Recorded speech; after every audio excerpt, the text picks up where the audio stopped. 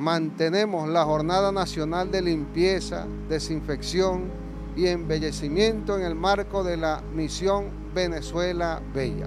Jornadas que se realizan todos los días en espacios donde hay cierta concentración de personas para la prevención del COVID-19. En este caso, estamos en uno de los hospitales centinelas del estado Barina, el Hospital Centinela Pediátrico Doctor Samuel Darío Maldonado. Aquí, como siempre, el equipo que lo conforma, eh, Barrio Nuevo, Barrio Tricolor, además los amigos de Protección Civil y otras instituciones que colaboran en el mismo, van a realizar todo este proceso de limpieza y desinfección.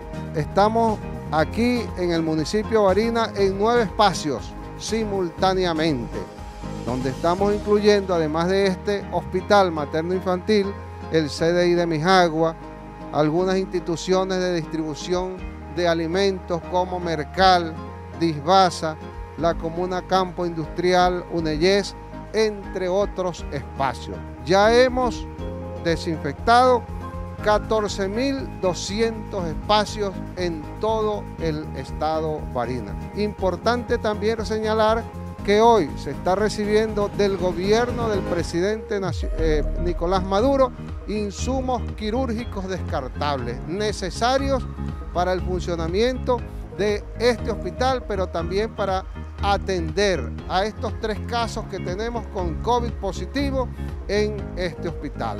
Así es que todo este equipo desplegado en todos los municipios del estado, vamos a seguir trabajando en esta Jornada Nacional de Limpieza, Embellecimiento y Desinfección, porque juntos todo es posible y nosotros venceremos.